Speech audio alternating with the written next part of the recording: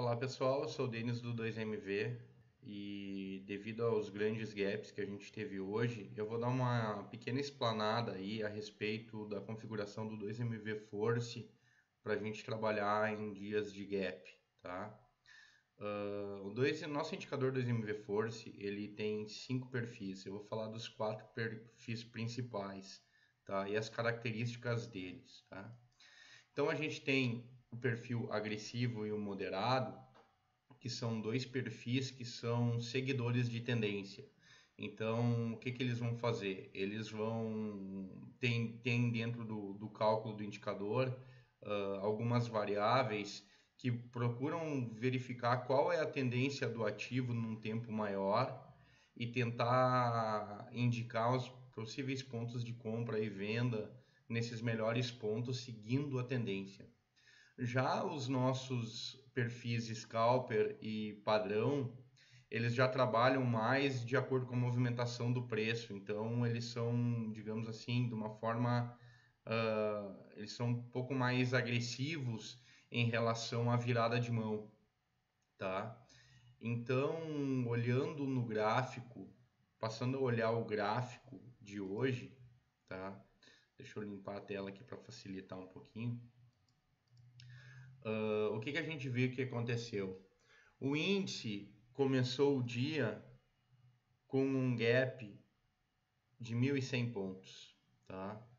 Nesse caso, o meu perfil moderado e o perfil agressivo, o que, que eles vão fazer? Eles vão trabalhar uh, seguindo essa tendência de queda. Tá? Por quê? Porque quando dá um gap muito grande, todos os indicadores da plataforma uh, acabam uh, sendo desconfigurados e eles entendem que esse movimento do gap foi uma movimentação que ocorreu normal de mercado, apesar de a gente não poder operar aqui a não ser pelo leilão. Então, dessa forma, os perfis moderado e agressivo, eles vão apontar a continuidade da venda. Então, se eu pegar aqui e olhar box a box no meu perfil moderado, eu vou ver que ele entrou na venda, entrou novamente na venda, tomou dois stops. Por quê? Porque o movimento do mercado foi de vir buscar o fechamento desse gap. Já uh, os perfis do Force uh, trabalharam buscando a continuação do movimento de venda. Então, hoje de manhã, no grupo do robô, eu alertei uh, o pessoal que quem quisesse acreditar no fechamento do gap deveria optar pelos perfis padrão ou scalper. Por quê? Porque eles viram a mão mais rapidamente. Então, pelo perfil scalper, eu posso ver aqui que ele fez a entrada já na compra, já buscando a compra no, na virada do movimento tá? pelo fechamento de gap. Apesar de ser um movimento, digamos assim, não tão, não tão direcional é, e teve muitas entradas aqui que, que eu fui salvo praticamente pela parcial, né? mas com o fechamento do gap, ele acabou vindo buscar o meu lucro. Eu até postei um vídeo de manhã uh, mostrando a operação do robô que pegou esse movimento aqui quando fechou aqui eu acabei saindo no lucro por ter apostado no fechamento do gap. A mesma coisa acontece aqui no dólar, tá? O dólar abriu um gap de 34 pontos, tá?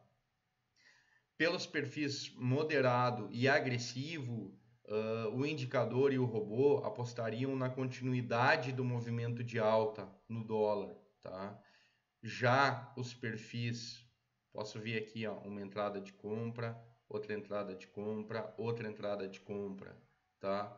E o que, que o movimento de preço fez? O movimento de preço veio, o mercado veio a buscar o fechamento do gap, tá? Então, se eu acredito que, uh, quando se eu faço a minha leitura e acredito que o gap vai fechar, por ser um gap muito grande, né? Ou por achar que, que já já está muito perto no suporte uma resistência, o que, que eu devo fazer? Eu devo mudar o meu perfil do Force para trabalhar ou no padrão ou no scalper. Por quê? Porque eles vão inverter a mão antes. Então fica mais fácil, uh, nesse caso, eu trabalhar com os perfis que vão buscar a reversão, mesmo que aconteceu a mesma coisa, de ficar um pouco enrolado, a hora que ele veio um movimento mais forte, eu consegui pegar e fazer a meta do dia, tá? Então minha dica é essa, tá? Nesses momentos que tiver esses gaps mais fortes, tá? Uh, vamos tentar operar um pouquinho com o scalper e com o padrão, porque eles vão buscar esse movimento e tu não vai ter, vai evitar algumas umas violinadas aí uh, de compra e de venda a favor dos gaps por ter sido gap muito grande. Já os perfis uh, agressivo moderado, tá? Eles eles acabam uh, seguindo a tendência e se o gap for muito grande, pode ser que tu acabe estopando no movimento de fechamento de gap. Espero ter ajudado e espero que, que facilite para vocês uh, nos próximos dias, já que no último mês aí a gente teve vários dias em que abriram com gaps. Valeu!